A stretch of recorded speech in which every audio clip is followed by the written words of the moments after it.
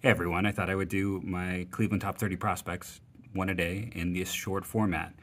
Uh, so, if you're curious who's my 30th ranked Cleveland Guardians prospect, it's Ryan Webb, the left handed pitcher from the University of Georgia.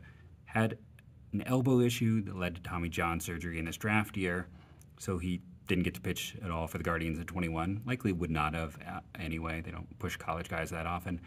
But really didn't get to pitch much this past year ignore the numbers. Command issues arise after Tommy John.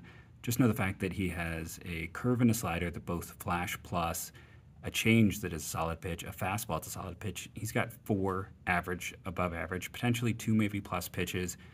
It's all about getting healthy, getting reps.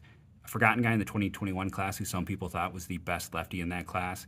Keep an eye on Ryan Webb. He is at number 30 and is certainly a helium candidate for next year. Thank you for watching, and make sure to subscribe and like to get more Locked On Guardians.